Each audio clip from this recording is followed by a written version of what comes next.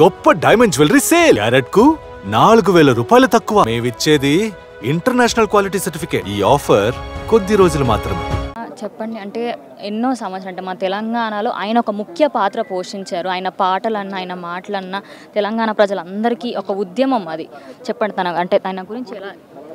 తెలంగాణ సమాజం కోసం తెలంగాణలో ఉన్న అణచివేత దొరతనం దోపిడీ పెత్తందారితనం పటేల్ పటవారి వ్యవస్థ వర్గపీడన కుల వివక్షత ఇవన్నిటికి వ్యతిరేకంగా సమానత్వం కావాలి సమసమాజం నిర్మించాలని ఆయన యుక్త వయసులో విప్లవోద్యమం వైపు వచ్చి ఆయన పాటనే తూటగా మార్చి పాటనే ఆయుధంగా మార్చి లక్షలాది మంది యువతకు విద్యార్థులకు గ్రామీణ మహిళలకు చైతన్యాన్ని అందిస్తే ఆ చైతన్యంతో పెద్ద ఎత్తున గ్రామాల గ్రామాలు దోపిడీ మీద తిరగబడి ఎంతో కొంత విముక్తి కలగడానికి చైతన్యం ఈనాటి చైతన్యం రావడానికి ఆయన పాట ఆయన జీ- ఎంచుకున్న జీవితము ఎంచుకున్న విప్లవము స్ఫూర్తి అది తర్వాత నెక్స్ట్లో తెలంగాణ ఉద్యమం. తెలంగాణ ఉద్యమంలో కూడా గద్దరన్న ధూమ్ధామ్ ఉన్నదంటే గద్దరన్న పాటలు ఉన్నాయంటే అనేక మంది ఆకర్షితులై మరి ఆనాటి విప్లవకారులు కానీ విప్లవోద్యమ సహచరులు కానీ అందరూ కూడా తెలంగాణ వస్తే జీవితాలు మారిపోతాయని తెలంగాణ ఉద్యమంలో తొలి పొద్దై పొడిచిండు. ఆ రో ఈరోజు పొడిచిన పొద్దు అస్తమించింది. ఆయన లేని లోటు మేము ఎవరం కూడా తీర్చలేము ఎవరం కూడా. ఇప్పుడు అట్లాంటి తరం కూడా కనబడడం లేదు. అందరం సెల్ఫ్గా మన కోసం మనం ఆలోచిస్తున్నాము. కానీ ఆయన జీవితాన్ని చివరి లాస్ట్ వరకు కూడా అంకితం ఇవ్వాలని తూటాలు పడ్డా జైలు జీవితం వచ్చినా ఇంకా దాడులైనా ఇబ్బందులైనా అవమానాలైనా ఎదుర్కొని ముందుకు ముందుకే సాగిండు.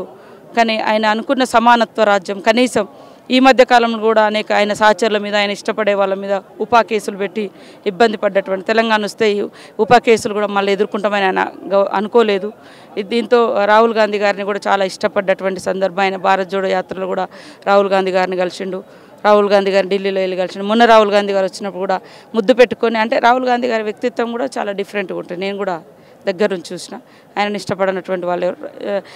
గద్దరన్న చూసిండు కాబట్టి చాలా ఇష్టపడ్డాడు. అట్లా అంటే రాజకీయ నాయకులతో అంత అనుబంధం ఉన్నదంటే అది గద్దరన్న గారి యొక్క అంటే ఇంకా ఎట్లా ఉంటే బాగుంటుంది ఇప్పుడు అనే అటువంటి ఆలోచన. తెలంగాణ వచ్చిన తర్వాత కూడా ఆయన కన్న కళ్ళ మార్పు రాలేదు. ఇంకా ఉప కేసులు పెట్టి జైలు పో ఇట్లాంటి చూసిండు కాబట్టి ఆవేదన చెందినమాట వాస్తవం. దాంతో రాహుల్ గాంధీ గారికి కూడా దగ్గర అంటే ఆయన ఆయనని తూటాలు ఎవడైతే పోల్చా పోడ్చారో ఐ మీన్ కాల్చిన వాళ్ళని ఇప్పటి వరకు పోలీసులు పట్టుకోలేకపోయారు. ఇరవై సంవత్సరాలు అయిపోయింది తెలంగాణ. అప్పుడు ఎప్పుడో జరిగిన ఉద్యమాలలో ఆయనకు తూటాలు పోడ్ పొడవడం జరిగింది. అప్పుడు జరిగిన ఉద్యమంలో అది ఇప్పటివరకు ఆ కేసు ఇంకా మళ్ళీ మళ్ళీ ఆయన ఎన్నోసార్లు అడిగారు దాని గురించి విచారించండి అని చెప్పి అన్నప్పటికీ ఎందుకు? ప్రభుత్వం ఎందుకు వెనక్కి వచ్చింది అంటే ప్రభుత్వము అంతకుముందు ఒక మాట చెప్పింది ఇప్పుడు ఒక మాట చెప్పింది. పదేళ్ళైనా కూడా వాళ్ళని పట్టుకోలేదు. ఓకే సమైక్యాంధ్రలో జరిగింది. సమైక్యాంధ్రలలో కాల్పులు జరిగినాయి. వాళ్ళ వాళ్ళు చేసిర్రు. మరి మన తెలంగాణ వచ్చినాక ఇంత పట్టుకోవాలి శిక్షించాలి కదా.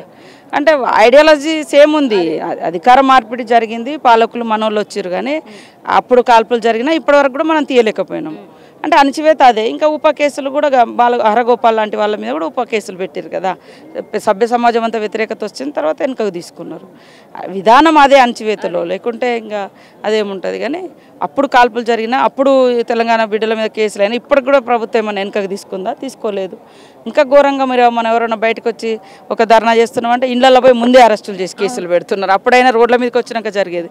కానీ ఇప్పుడైతే ఇళ్ళల్లో ఇళ్ళల్లోనే జరుగుతున్నది. అంటే వెళ్ళే ముందు కూడా ఆయన నాకు ఆరోగ్యం బాగానే ఉంటుంది నేను ఖచ్చితంగా మళ్ళీ వస్తాను అనే ఉద్దేశంతోనే ఆయన లెటర్ కూడా పాస్ చేయడం జరిగింది. గత వారం రోజుల కింద లెటర్ కూడా పాస్ చేయడం జరిగింది. అంటే ఇంత సడన్గా ఇలా జరుగుతుంది అని ఎవరైనా ఎవరు ఎక్స్పెక్ట్ చేయలేరు? మేము కూడా నేను కూడా ఊహించలేదు. ఖమ్మం జిల్లా మీటింగ్లో కలిసిండు. ఇప్పుడు మాకు తెలుస్తుందంటే ఆ రోజు మీటింగ్ అయిన తర్వాత కొద్దిగా సిక్ అయిండు.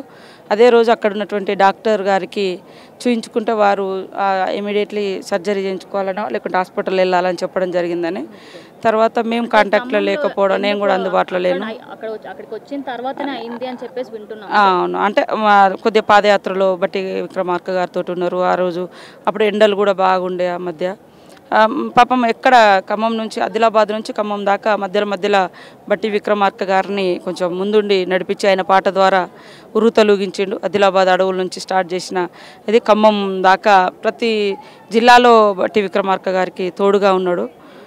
తర్వాత ఆయన సిక్ అయిపోయిండు. తర్వాత మేము కూడా అంటే నేను కూడా ఇక్కడ స్టేట్లో లేకపోవడం అందుబాటులో లేదు. మాకు తెలియలేదు. ఇప్పుడు ఈరోజు చనిపోయిన తర్వాత తెలిసింది వాస్తవానికి. కానీ ఇట్లా అవుతుందని అసలు మేము ఎందుకంటే ఆయన స్టేజ్ల మీద వచ్చి అంతకుముందు ఖమ్మం కరీంనగర్లో ఒక పాట పాడిండు. ప్రియాంక గాంధీ వచ్చినప్పుడు వచ్చిండు. రాహుల్ గాంధీ వచ్చినప్పుడు వచ్చిండు. ఆయన ఆశించినది కొంత అన్న బెటర్గా ఈ పార్టీ ద్వారా చేద్దాం. లేదా ఈ తరం బిడ్డలు రాహుల్ గాంధీ ప్రియాంక సామాజిక న్యాయం కానీ వర్గ అంటే కింది వర్గాలను ప్రేమించడంలో వాళ్ళు చాలా అద్భుతంగా వాళ్ళ వాళ్ళు చేయగలుగుతున్నటువంటి నమ్మకం విశ్వాసంతో వాళ్ళని కొంచెం ప్రోత్సహించినట్టుగా వారి యొక్క పాట ద్వారా గద్దరన్న పాట ద్వారా సపోర్ట్ చేసిండు.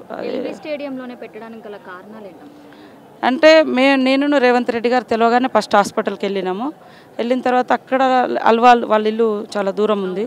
ఎంతోమంది రాష్ట్రంలో రెండు మూడు రాష్ట్రాల అభిమానులు ఉంటారు. ఇటు తెలంగాణ కానీ ఆంధ్ర కానీ కర్ణాటక కానీ ఛత్తీస్గఢ్ కానీ రకరకాల దేశమంతా కూడా ఆయన పాట విస్తరించి ఉంది.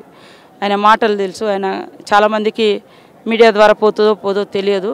కానీ ఆయన అందరు అడవులలో ఉండే వాళ్ళకు అంటే అడవి ప్రజలకు గోండుగూడాలల్లో తండాలల్లో ప్రతి దగ్గర గద్దరన్న పాట గద్దరన్న మాట అంటే టౌన్ కంటే ముందు అక్కడ మా ప్రాంతాల నుంచే ముందు వచ్చేటువంటిది కాబట్టి వాళ్ళందరికీ అంత దూరం ఐడియా ఉండదు. ఎల్బీ స్టేడియం అంటే కొంచెం అందరికీ కంఫర్ట్గా ఉంటుంది రావడానికి పోవడానికి ఆయనను చూసుకోవడానికి ఆత్మీయులు నివాళులు అర్పించుకోవడానికి అని ఇది బెస్ట్ అని రేవంత్ రెడ్డి గారు డిసైడ్ చేసుకొని వాళ్ళ కుటుంబ సభ్యులతో సంప్రదించిన తర్వాత ఇటే తీసుకోపోదామని అందరం అనుకొని ఎంట తీసుకో ఇక్కడ తీసుకో. గద్దరన్నకు ఆయన లేని లోటును మేము ఎవరం కూడా పూడ్చలేము. వారి యొక్క ఆశయాన్ని అందరం ఈనాటి తరం స్ఫూర్తిగా తీసుకోవాలి ప్రశ్నించడం నేర్చుకోవాలి. ఒక జీవితానికి ఒక స్ఫూర్తినిచ్చే జీవితం ఇంకా జీవించాల్సిన అవసరం. అందరం మన గురించి మనమే ఆలోచిస్తున్నాం కానీ ఆయన సమాజం గురించి ఆలోచించుండు. అలాంటి గద్దరన్న ఈరోజు లేకపోవడం చాలా బాధాకరం. వారికి జోహార్లు అర్పిస్తూ ఉన్నాను. వారి కుటుంబానికి తీవ్ర ప్రగాఢ సానుభూతిని తెలియజేస్తూ వారి యొక్క ఆశయాలను వీలైనంత వరకు నిక్కచ్చిగా నిలబడి ముందుకు తీసుకుపోయే ప్రయత్నం చేస్తాం జోహార్ గద్దరన్న జోహార్ గద్దరన్న